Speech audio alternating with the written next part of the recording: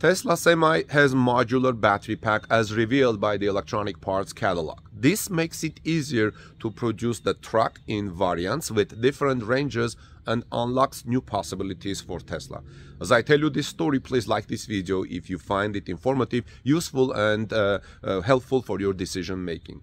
So why is this finding about Tesla Semi's modular battery pack important and what are those opportunities that it unlocks? Because Tesla can swap in and out to adjust total battery size of the semi. Tesla can swap out and replace it because uh, battery tech has a replace if the battery tech has a steep change improvements. Tesla can sell a 300 mile version that can be upgraded to 500 mile version. I think this should be a default design consideration on all electric vehicles going forward, as I saw one person commenting under Tesmanian. Exactly a month has passed since the first deliveries of Tesla Semi, but we still do not know a lot of information about it.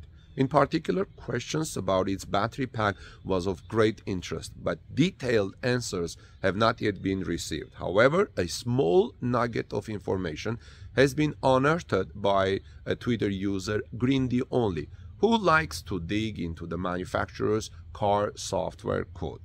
So what was found out? This time, Greentheonly looked at Tesla Semi's electronic parts catalog, which became available after the first deliveries took place. He found a lot of interesting information about Semi, which also included a picture of the truck's battery pack. You can see the picture in an article published at my torquenews.com website, the link of which I will have in the description of this video, so you can check it out. Please check it out and other videos on my YouTube channel about Tesla and everything related to Tesla. Anyway, that picture showed that Tesla Semi's battery pack is modular and consists of three sub-packs which can be a big advantage for Tesla because you can replace them at any size at any time. A modular battery pack can be useful when the battery pack offers a very large capacity, which is true of Tesla Semi. And when the capacity is broken for some reason up into smaller parallel battery packs, there is no additional cost. When a manufacturer has multiple products in production, each with their own specific energy needs, such as vehicles with different ranges, they may use one module for a one car model and two or three modules for another one. That's the big part of this news. For now, Tesla has introduced a 500 mile version of Semi that uses three sub packs as you can see from that picture if you check it out obviously when the 300 mile version is released the manufacturer will use only two sub packs of that battery this solution allows Tesla to purchase only one battery code per application simplifying the supply chain which is a definite plus for Tesla or for any automaker. This is why I said this can be or should be default for any electric vehicle. So like I said, why is this cool? Because Tesla can swap in and out to adjust total battery size of the semi. Tesla can swap out and replace, replace if battery tech has a step change improvement. Tesla can sell a 300 mile version that can be upgraded to 500 mile version. I think this should be a default design consideration on all electric vehicles going forward. Tesla already has a full plate for 2023. Even without the quarter for 2022 delivery numbers, the company aims to grow another 50% this year.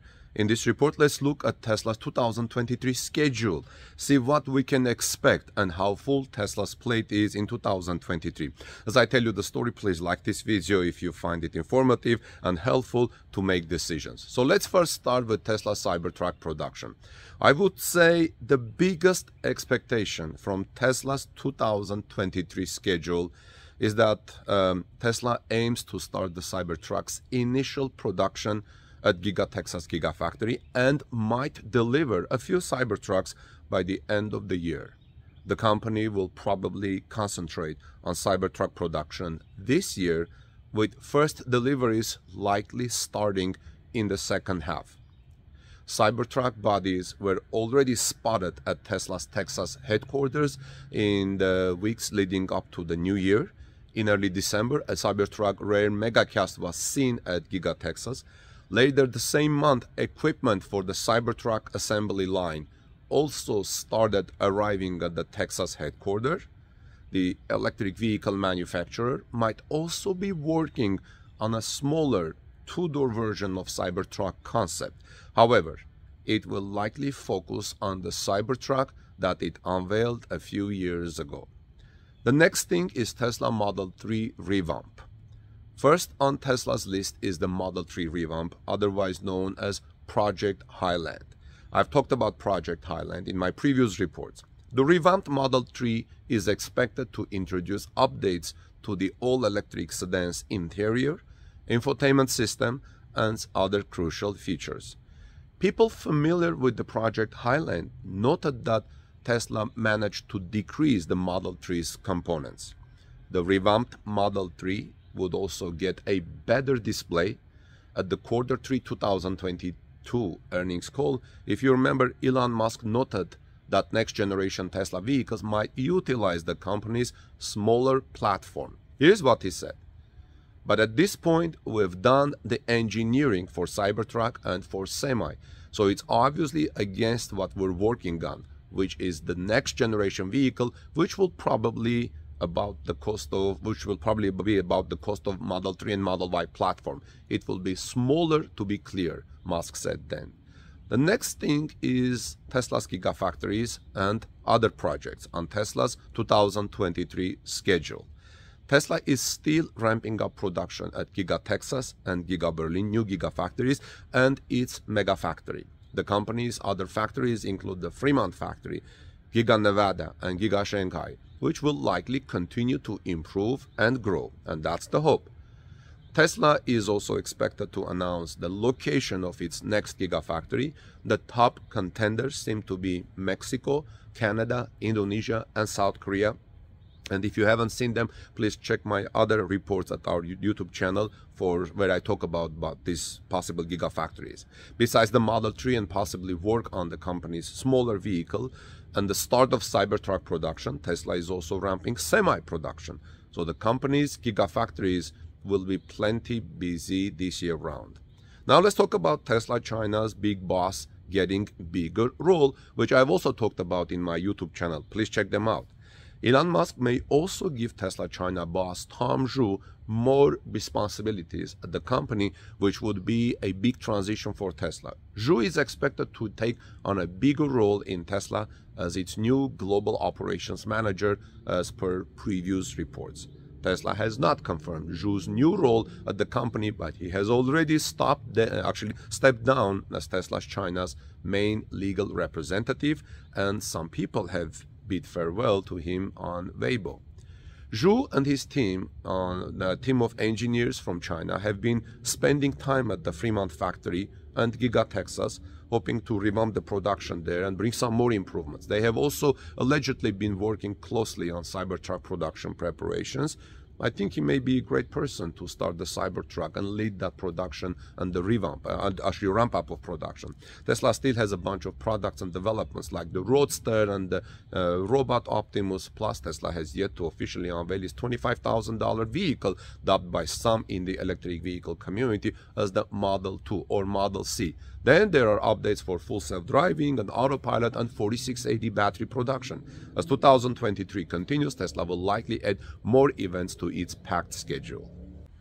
Tesla is apparently preparing to launch a cheaper version of the Model Y electric SUV according to an update to its online configurator. This is good news for Tesla and electric vehicle lovers because lowering the price of Tesla vehicles will simply make them more affordable to more people in the world. And as I tell you the story about Tesla's affordable Model Y launch, please like this video and comment your expectations about uh, the effect Tesla's uh, effects of the Tesla's affordable Model Y will have on the company's reports and on the world in general as more people will be able to buy them and afford them. In 2022, Tesla vehicles lineup remained primarily unchanged in North America. It's expected to shake up a bit in 2023, especially with the new federal tax credit for electric vehicle potentially incentivizing some changes. And this is why an affordable Model Y is very important for Tesla. For example, outside of North America, Tesla sells a cheaper rear-wheel drive and shorter range version of the Model Y. It's an extremely popular option, but the automaker for some reason has refused to introduce it or at least keep it for the North American market. Tesla actually briefly offered the cheap Model Y in North America in 2021, but it removed the option from the configurator with CEO Elon Musk saying that he didn't like the shorter range. However, Tesla continued selling the vehicle in Europe and in Asia. By the way, do you think American people like longer ranges or shorter ranges? Do you think people will settle down for shorter ranges? I don't know. I would like to hear from you on that. In North America, Tesla also offered the Model Y with 4680 cells built at Gigafactory, Texas. The vehicle still had a dual motor all-wheel drive powertrain, but the new battery pack results resulted in 279 miles of range. In comparison, the current long-range Model Y has 330 miles of EPA rated range. However, this version of the Model Y has never appeared in Tesla's Model Y configurator as it was only offered to Tesla employees or as a direct offer to some customers who had ordered a Model Y. Now, several Tesla configurator code trackers are reporting that the automaker has added a new configuration of the Model Y in the background that seems to match this Model Y all-wheel drive with 4680 cells, Electrek reports. The new Model Y is listed at $61,990, which is also the price that Tesla used to offer the Model Y with 4680 cells. It's also listed as a dual motor all-wheel drive version. For now, the vehicle is only in the source code of the configurator and can't be selected by buyers. The new vehicle appears in the code just as Tesla confirmed that it is now producing enough 4680 battery cells to build over 1000 Model Y vehicles per week. If you know, I reported that uh, several days ago. As I reported also last week, the update from the US Treasury about the vehicles eligible for the new $7,500 federal credit has raised some questions about what it takes to be considered an SUV and have the $80,000 MSRP limit on uh, a V model to get the credit. The Model Y only gets the limit with the 7-seat configuration and based on other model getting, uh, models getting and uh, getting and not getting the limit, it may have to do with the gross vehicle weight. Tesla might have to change a few things to make sure its buyers can take advantage of the credit on the Model Y. But either way, Tesla needs a cheaper version of the Model Y to sell in North America. Now, this one isn't much cheaper, but it's a start.